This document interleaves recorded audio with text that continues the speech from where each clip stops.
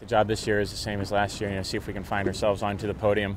A lot of the guys at the end of last season felt that 2009 was harder and in some ways more rewarding than 2008, simply because we were sailing a 14-month-old boat and we're able to to beat two of the three new boats. So you know, we have the addition of Origin, we have the addition of Luna Rossa this year, and those are quite good sailing teams. And uh, yeah, I mean, it just reeks of a lot of hard work all season long. So, you know, we're quietly optimistic, I think, with some of the things that we've done, and you know, we're certainly pushing hard to make sure we find ourselves back on either top of the podium or somewhere on the podium. But it's it, it'll be a it'll be a hard season for sure.